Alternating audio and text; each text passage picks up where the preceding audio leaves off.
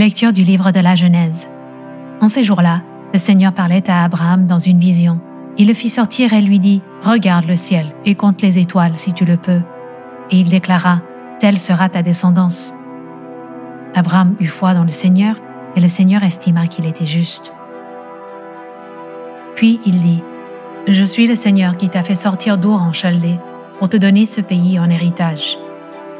Abraham répondit, Seigneur, mon Dieu, comment vais-je savoir que je l'ai en héritage? Le Seigneur lui dit, Prends-moi une génisse de trois ans, une chèvre de trois ans, un bélier de trois ans, une tourterelle et une jeune colombe. Abraham prit tous ces animaux, les partagea en deux et plaça chaque moitié en face de l'autre, mais il ne partagea pas les oiseaux. Comme les rapaces descendaient sur les cadavres, Abraham les chassa. Au coucher du soleil, un sommeil mystérieux tomba sur Abraham. Une sombre et profonde frayeur tomba sur lui. Après le coucher du soleil, il y eut des ténèbres épaisses. Alors un brasier fumant et une torche enflammée passèrent entre les morceaux d'animaux. Ce jour-là, le Seigneur conclut une alliance avec Abraham en ces termes. À ta descendance, je donne le pays que voici, depuis le torrent d'Égypte jusqu'au grand fleuve, Le Seigneur est ma lumière et mon salut.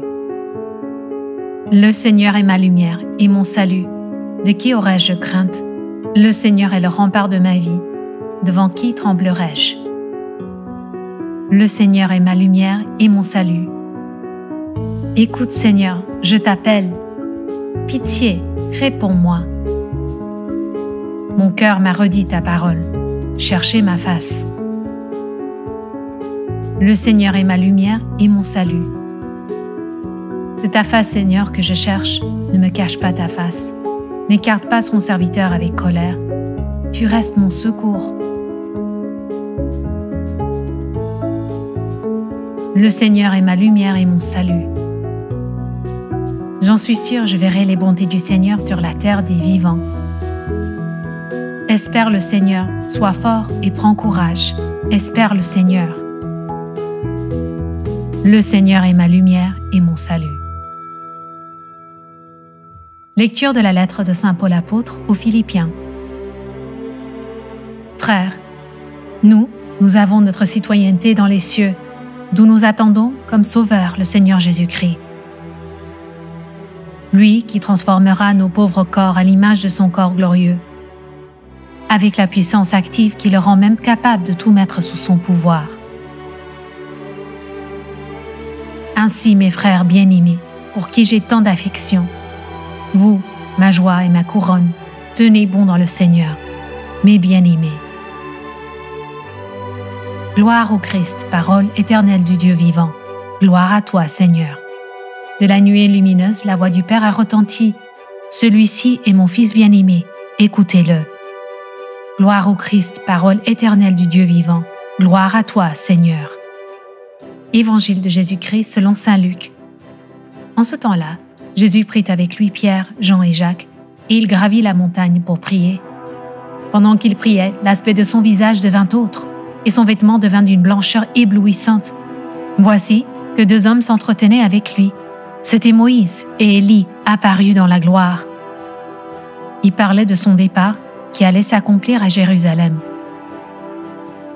Pierre et ses compagnons étaient accablés de sommeil, mais, restant éveillés, ils virent la gloire de Jésus et les deux hommes à ses côtés. Ces derniers s'éloignaient de lui quand Pierre dit à Jésus, Maître, il est bon que nous soyons ici.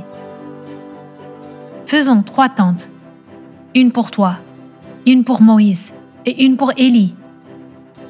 Il ne savait pas ce qu'il disait. Pierre n'avait pas fini de parler qu'une nuée survint et les couvrit de son ombre. Ils furent saisis de frayeur lorsqu'ils y pénétrèrent. Et de la nuée, une voix se fit entendre. Celui-ci est mon fils, celui que j'ai choisi. Écoutez-le. Et pendant que la voix se faisait entendre, il n'y avait plus que Jésus, seul, les disciples gardèrent le silence, et en ces jours-là, ils ne rapportèrent à personne rien de ce qu'ils avaient vu. C'est le deuxième dimanche de Carême. Dans la première lecture, Dieu parle à Abraham et fait une alliance, une promesse divine. Il promet de bâtir un peuple, le peuple d'Israël, et de leur donner une terre à eux. Tout au long de l'Ancien Testament, nous voyons que Dieu veut se servir de son peuple pour ramener à lui le monde entier, nous sauvant du péché et de la séparation éternelle d'avec lui. La mission de sauvetage a été accomplie par Jésus et son sacrifice sur la croix. Abraham sacrifie des animaux et plus tard sacrifie presque son fils. Mais Jésus se sacrifie lui-même, offrant la rédemption du péché et de la mort à tous ceux qui croient en lui. Jésus a commencé à parler à ses disciples de la nécessité de mourir et de ressusciter, mais les disciples ne comprennent pas. Puis, dans l'évangile d'aujourd'hui, Jésus gravit une montagne avec ses disciples et soudain, son corps et ses vêtements commencent à briller de lumière et de la gloire de Dieu.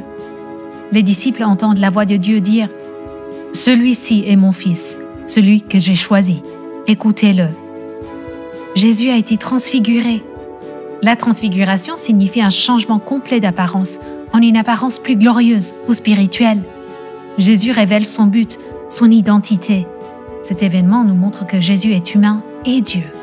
Il est le Fils choisi. Par le sacrifice de Jésus, nous obtenons la citoyenneté dans les cieux, comme l'écrit Paul. Nous allons nous aussi vivre une sorte de transfiguration. Dieu transformera nos pauvres corps à l'image de son corps glorieux lorsque nous le rejoindrons pour l'éternité au ciel. N'oubliez pas d'aimer et de vous abonner. Vous pouvez également soutenir 4 Kids Media sur Venmo ou Patreon en utilisant les liens dans la description. Merci d'avoir regardé.